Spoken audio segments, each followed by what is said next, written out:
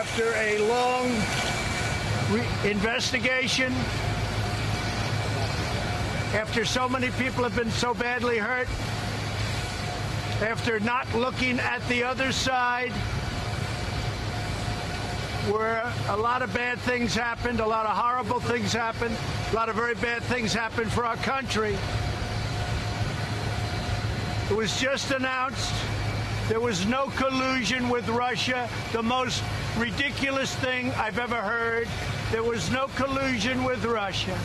There was no obstruction and none whatsoever.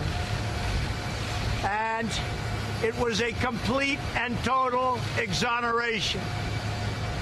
It's a shame that our country had to go through this.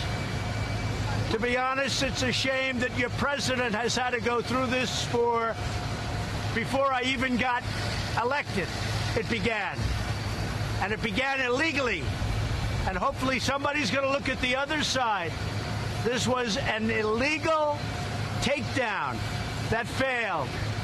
And hopefully somebody's going to be looking at the other side. So it's complete exoneration, no collusion, no obstruction. Thank you very much. Thank you.